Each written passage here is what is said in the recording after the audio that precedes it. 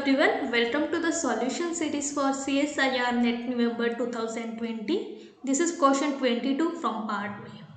Question print करते हैं f from n to n be a bounded function. Function की domain n है function की को डोमेन भी क्या है n है देन आपको चेक करना है कि इनमें से कौन सा ऑप्शन जो है वो ट्रू नहीं है ओके तो हमें गिवन है कि एफ़ एन से एन पे बाउंडेड फ़ंक्शन दिया गया है f to n is a bounded function.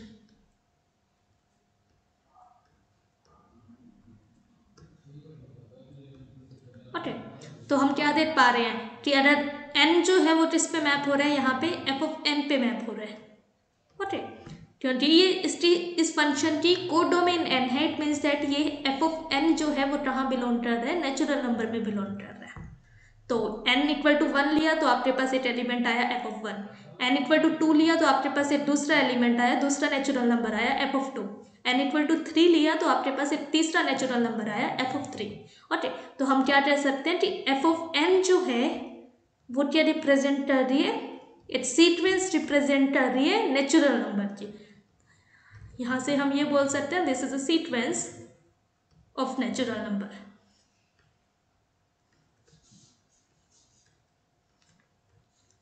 अब आपको देखना है, क्या ये सीक्वेंस बाउंडेड सीक्वेंस है? हमें चेक करना है कि ये सीक्वेंस जो लिखी है, वो बाउंडेड सीक्वेंस है या नहीं? तो आपको फ़ंक्शन बाउंडेड दिया गया है। फ़ंक्शन बाउंडेड है मीन्स दैट इसका मीनिंग क्या है? कि हमारे पास क्या मिल रहा है? एक रियल नंबर मिल रहा है। There exist M from R greater than zero such that mod of f of x is less than M for all x in the domain that is natural number और आपको क्या पता है कि bounded sequence की definition भी यही होती है कि एक sequence Lee a n is to bounded तब रहेंगे जब आपके पास एक ए एन एक रियल रियल सीक्वेंस है तो इसको बाउंडेड तब कहा जाएगा कि आपको एक रियल नंबर मिले एम ज़ीरो से बड़ा such that mod a n is less than equal to M for all n belongs to natural number तो हमारे पास आ रहा है mod of f of n is less than M for all n belongs to natural number तो आपको क्या पता चल रहा है कि ये सीक्वेंस जो है वो क्या है? एक बाउंडेड सीक्वेंस है। तो एफ़ एन आपके पास क्या आई? एक बाउंडेड सीक्वेंस आई नेचुरल नंबर की सीक्वेंस है। तो हम यहाँ से क्या कह सकते हैं? बोल्जेनोव-रिस्ट्रेस थ्योरम आपको पता है कि every bounded sequence has a limit point तो बाय बेल्जेनोव-रिस्ट्रेस थ्योरम मैं बोल सकती हूँ कि इस सीक्वेंस के पास क्या होगा? लिमिट पॉइंट एग्जिस्ट करेगा कोई ना कोई। By Bolzanov-Risteris theorem, the sequence Fn has a limit point since it is bounded.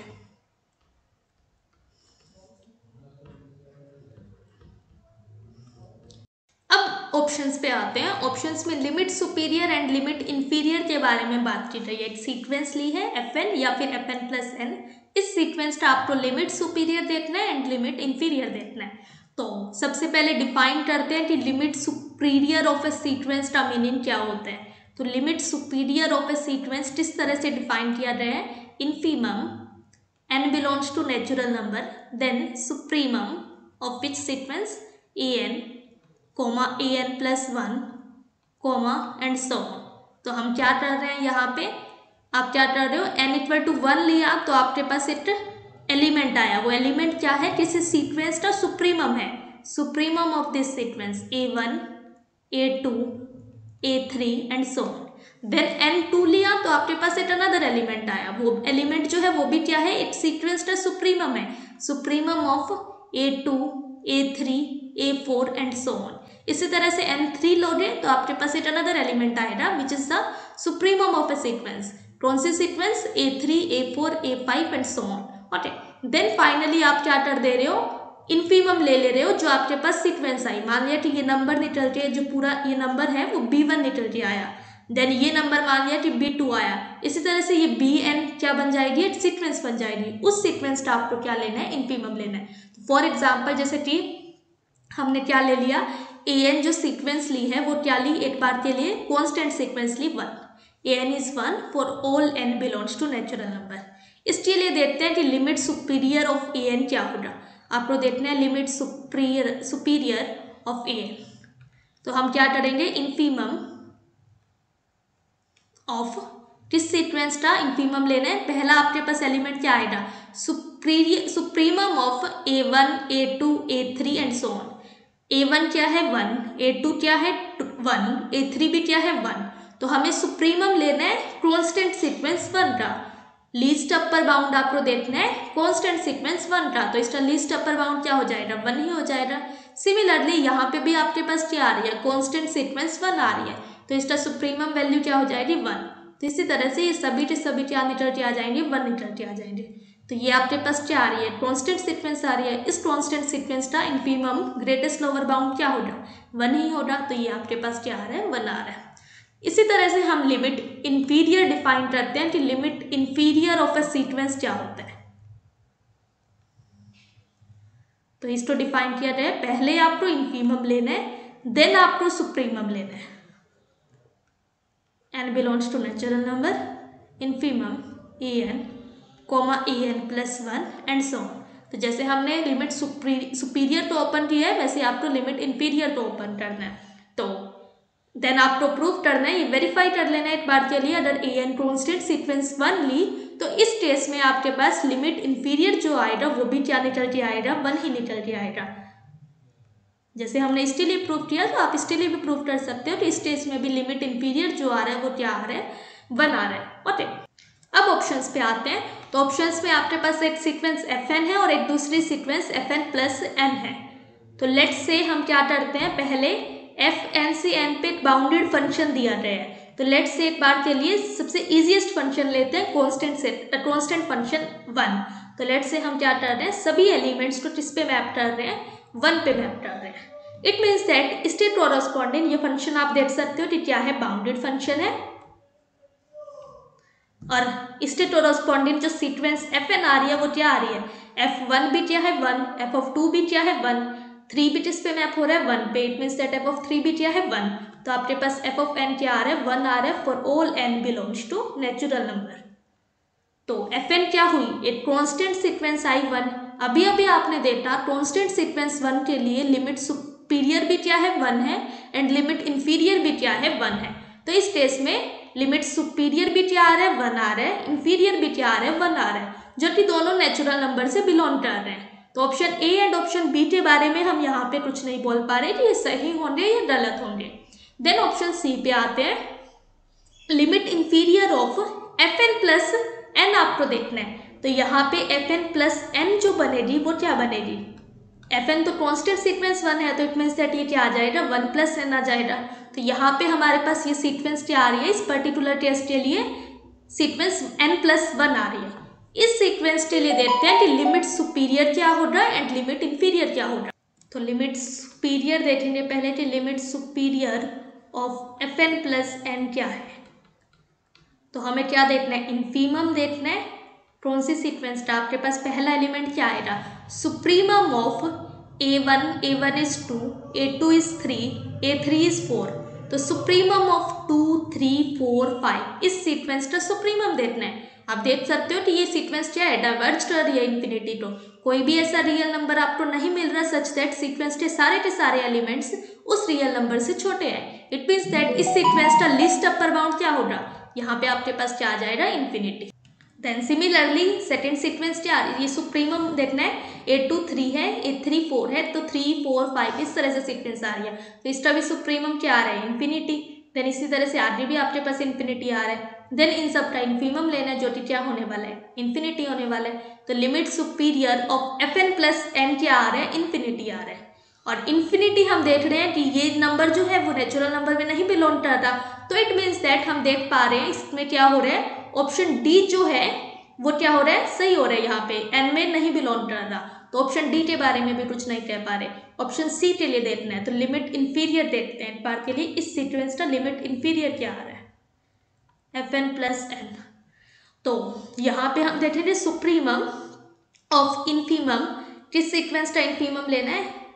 पहले आपके पास infimum of A one A two A three इस तरह से लेना है। तो उसका इन्फीमम क्या आएगा? ए वन क्या है? टू ए टू क्या है? Three two three four five इस सीक्वेंस का क्या लेना है आपको? ग्रेटेस्ट लोअर बाउंड देखना है। तो ये क्या होने वाला है? इन्फिनिटी सॉरी इन्फीमम हमें देखना है, कौन सी सीक्वेंस था? टू थ्री फोर फाइव तो इसका ग्रेटेस्ट लोअर बाउंड क्या होगा इन्फीमम क्या होगा टू होगा तो यहाँ पे आपके पास टू निकल के आएगा? देन आपके पास आया infimum of A three A A two A three A four इस तरह से. That is infimum of three four five and so on इसका इन्फीमम क्या हो जाएगा? थ्री तो आपके पास अनदर एलिमेंट आया थ्री देन आपके पास तीसरा एलिमेंट क्या आ जाएगा? फोर इस तरह से आपके पास क्या आ जाएगा? और इसका सुप्रीमम क्या निकल के आएगा? अब ये क्या है? इसी तरह से सीक्वेंस बन रही जो आपने पहले डील किया था। तो इसका सुप्रीमम क्या आएगा? इन्फिनिटी तो limit inferior of F N plus N भी यहाँ पे क्या आ रहा है? इन्फिनिटी आ रहा है। इन्फिनिटी नेचुरल नंबर में नहीं बिलोंग कर रहा। बट यहाँ पे लिखा रहा है कि ये नेचुरल नंबर में बिलोंग कर रहा है। तो इट मीन्स दैट इस फ़ंक्शन से आपके पास, आपको पता चल जा रहा है कि ये स्टेटमेंट जो है वो ट्रू नहीं है। तो हम कह पा रहे हैं कि ऑप्शन सी गलत हो रहा। ऑप्शन सी गलत हो रहा it means that option C सही हो जाएगा क्योंकि आपको नोट ट्रू पूछा गया है। तो यहाँ पे ऑप्शन सी सही होने वाला है, बाकी सारे ऑप्शन क्या हो जाएँगे, गलत हो जाएँगे। अब वन बाय वन प्रूफ पे आते हैं कि ऑप्शन ए ऑप्शन सी जो है वो हम प्रूफ कर चुके हैं कि ऑप्शन सी जो है वो गलत है इट मीन्स दैट अपने आप में सही है। आपको option A B D statement through prove करनी है तो इनको प्रूफ करते हैं। तो हमें क्या गिवन है? हमारे पास क्या के आया था? एफ़ एन जो आई थी, वो एक सीक्वेंस आई थी नेचुरल नंबर की, और कैसे सीक्वेंस थी? बाउंडेड सीक्वेंस थी। हम ये देख चुके हैं कि एफ़ एन क्या है? एक बाउंडेड सीक्वेंस है नेचुरल नंबर की। It means that F N के पास क्या हो रहा है? इस सीक्वेंस के पास लिमिट पॉइंट हो रहा बाय बोल्जेनो फ्रिस्टर्स थ्योरम तो एफ़ एन के पास क्या है? एक लिमिट पॉइंट एग्जिस्ट करेगा कोई ना कोई लिमिट पॉइंट इसके पास ज़रूर होने वाला है। अब एक सिंपल सी ऑब्जर्वेशन देखते हैं कि अगर मान लिया ए एन आपने कोई सीक्वेंस ली नेचुरल नंबर की। हम क्या ले रहे हैं? ए एन जो ले रहे हैं, वो एक सीक्वेंस ले रहे हैं नेचुरल नंबर की। Let's say A N is a sequence of natural number तो हमें देखना है क्या इसके सारे के सारे लिमिट पॉइंट्स नेचुरल नंबर में बिलोंग करेंगे। हमें प्रूफ करना है then all the limits point all the limit points of A N in natural number all the limit points of A N belongs to natural number तो हमें क्या proof करना होगा कि कोई भी लिमिट पॉइंट ऐसा नहीं हो सकता कि कोई भी लिमिट पॉइंट जो है वो रियल नंबर है बट नेचुरल नंबर नहीं है। हमें प्रूव करना है कि सारे के सारे लिमिट पॉइंट्स जो होंगे, वो नेचुरल नंबर होंगे। तो लेट से मान लिया कि आपने एक लिमिट पॉइंट लिया। एल मान लिया, आपने एक रियल नंबर लिया जो कि नेचुरल नंबर में बिलोंग नहीं कर रहा। ओके एल हम एक रियल नंबर ले रहे हैं जो कि नेचुरल नंबर में बिलोंग नहीं कर रहा। अब एल जो हो रहा, वो कुछ यहाँ पे लाइट कर रहा है रियल लाइन में मार दिया। अब क्या हो रहा ये एल जो है, वो टिन बाउंडेड टिन नेचुरल नंबर के बीच में लाई करने वाला है। टिन दो नेचुरल नंबर के बीच में लाई करने वाला है। यहाँ पे आपके पास जो नेचुरल नंबर आएगा, वो कौन सा हो होगा जिनटेल होगा और यहाँ पे आपके पास जो नेचुरल नंबर हो रहा, वो क्या हो रहा? फ्लोर एल तो अब लेट से एप्साइलन जो आपने लिया, वो क्या लिया? मिनिमम ऑफ़ एल माइनस जिनटेल लिया comma floor L minus L लिया। ये एप्साइलन हम चूज़ कर रहे हैं। अब लेट से हमने एक बॉल ड्रॉ की एप्साइलन लेंथ की अराउंड एल इसका इंटरसेक्शन अगर आप सीक्वेंस ए एन के साथ देखोगे तो क्या आने वाला है? इस सीक्वेंस में हम देख सकते हैं, ये आपके पास क्या आएगी? ये जो नंबर आ रहा है, ये जो बोल आ रही है सॉरी जो ये सेट आ रहा है, वो क्या आ रहा है? एल माइनस एप्साइलन से एल प्लस एप्साइलन है। मान लिया कि जेड एल ये वाली लेंथ जो है, वो छोटी है एज कंपेयर टू इस लेंथ के। तो आपके पास ये सेट आएगा। जो ये सेट है, जो ये बोल है, वो क्या रिप्रेजेंट कर रही है? ये इंटरवल रिप्रेजेंट कर रहा है। और इस इंटरवल में, इस ओपन इंटरवल में हम देख पा रहे हैं कि कोई भी नेचुरल नंबर बिलोंग नहीं कर रहा। तो ये सीक्वेंस जो थी, वो नेचुरल नंबर की सीक्वेंस थी। यहाँ पे A one A two A three सभी नेचुरल नंबर्स थे। तो इसका इंटरसेक्शन इस सेट के साथ क्या आने वाला है? फाइव आने वाला है। तो हमें क्या मिला? एल आपने कोई भी रियल नंबर लिया जो कि नेचुरल नंबर नहीं है। तो हमने क्या प्रूफ किया कि एल जो है, वो लिमिट पॉइंट नहीं हो सकता।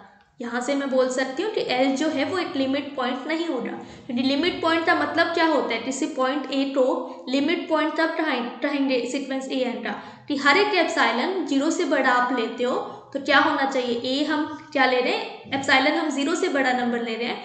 तो ए के अराउंड अगर आप एप्साइलन बॉल ड्रॉ करोगे तो क्या होनी चाहिए? उसका इंटरसेक्शन ए एन के साथ नॉन एम्प्टी आना चाहिए था।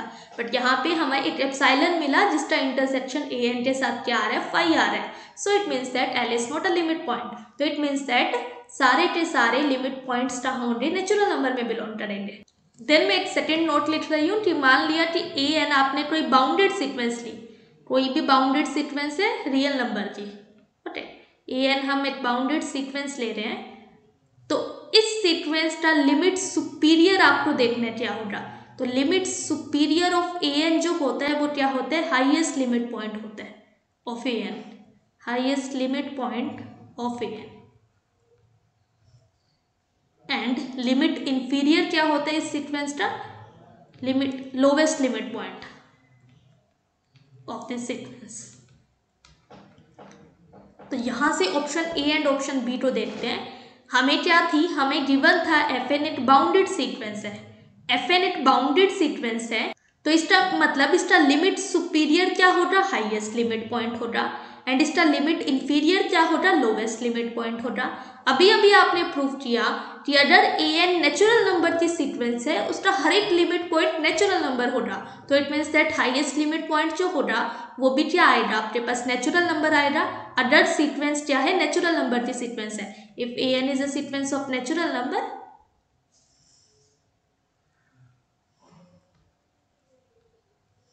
तो हम क्या कह सकते हैं? इसी टेस्ट में इसका पर्टिकुलर टेस्ट देख रहे हैं कि जब ए एन नेचुरल नंबर की सीक्वेंस है बाउंडेड तो है ही देन ए एन अगर नेचुरल नंबर की सीक्वेंस भी है तो हाईएस्ट लिमिट पॉइंट कहाँ बिलोंग कर जाएगा। नेचुरल नंबर में बिलोंग कर जाएगा एंड लोवेस्ट लिमिट पॉइंट भी कहाँ बिलोंग करेगा नेचुरल नंबर में बिलोंग करेगा it means that limit superior of A N भी कहाँ बिलोंग कर रहे हैं नेचुरल नंबर में बिलोंग कर रहे हैं and limit inferior of A N भी एफ़ एन भी क्या कर रहे हैं नेचुरल नंबर में बिलोंग कर रहे हैं तो यहाँ से दोनों ऑप्शन सही है इट मीन्स दैट ये क्या हो जाएँगे, गलत हो जाएँगे। Then option D option D पे आते हैं limit superior of F N plus N आपको देखना है। तो हम क्या देख पा रहे हैं? लेट से मैं यहाँ पे भी एक नोट थ्री लिखते हैं कि अगर आपने क्या लिया ए एन एक सीक्वेंस है देन बी एन आपके पास एक सीक्वेंस है। A N is less than A N जो है, वो less than equal to B N है for all N belongs to natural number तो हम ये कह सकते हैं कि limit superior of A N जो होगा। वो less than equal to limit superior of B N होगा A N and B N दो सीक्वेंस है रियल रियल सीक्वेंसेस है। तो limit superior of A N जो होगा वो less than equal to limit in superior of B N होगा okay यहाँ पे आपके पास एक सीक्वेंस है एफ़ एन प्लस एन अब हमें यहाँ पे हम क्या कर सकते हैं? एफ़ एन प्लस एन एक सीक्वेंस है।